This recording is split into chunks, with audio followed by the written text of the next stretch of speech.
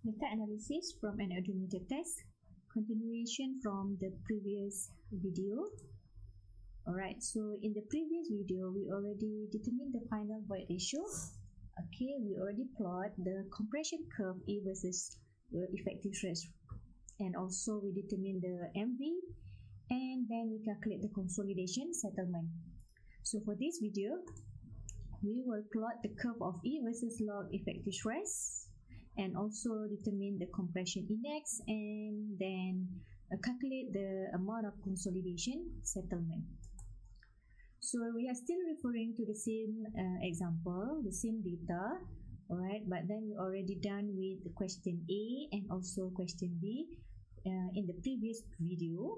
So in this video, we will continue with this point C and D here we need to plot the E log E versus log stress prime and then we need to determine the compressibility index and then obtain the consolidation settlement.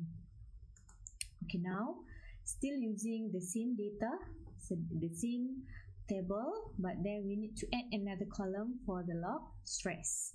Alright, so as you can see here, we have another column for the log stress. So you can add it at any column that easier for you to to refer. Okay. And then make sure you fill the value for the log stress. Okay basically when you hit or you press the log zero you will have the max error here. Okay but then um, never mind. I'm just put it zero here in order to plot the graph. Okay and then uh, we have the log 25 is 1.4 up to log 800 2.9 all right so this is only for the uh, loading condition. All right okay now the next step once you fill the value for the log stress. Okay?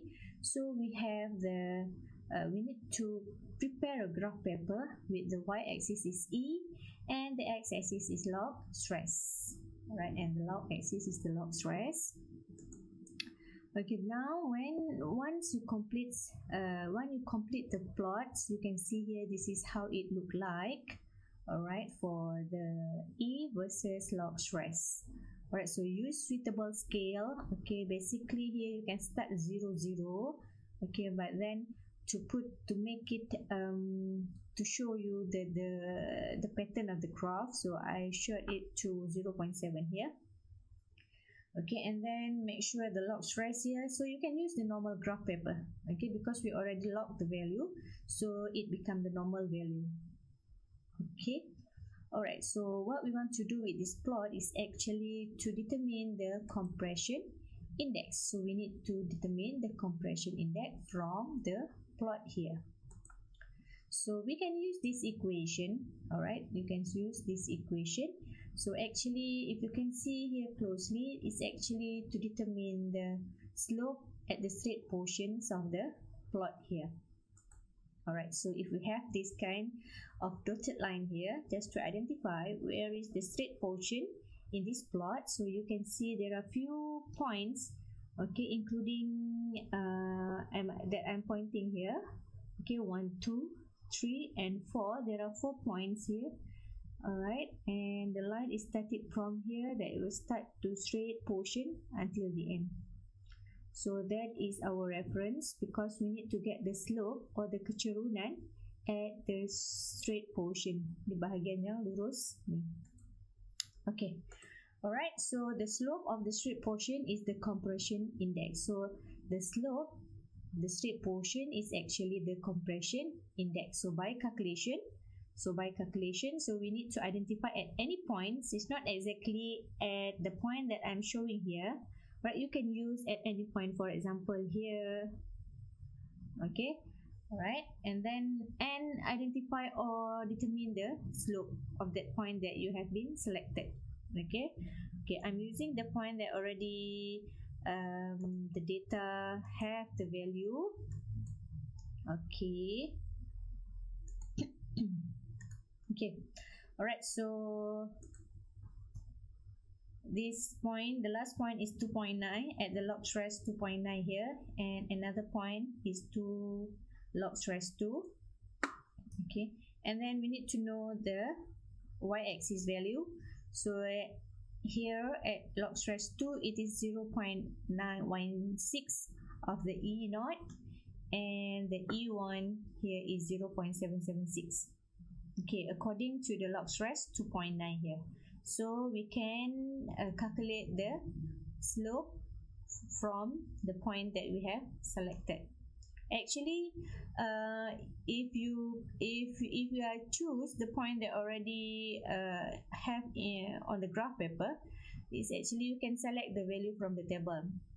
Otherwise if you don't have uh, the points in the table so you need to determine the value on the graph manually okay as usual how we commonly do to get the slope for the straight portion.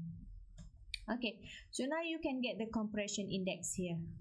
All right so 0.916 all right for minus 0.776 from the y-axis and also over to the x-axis here. So you will get the compression index 0.156 for the compression index okay.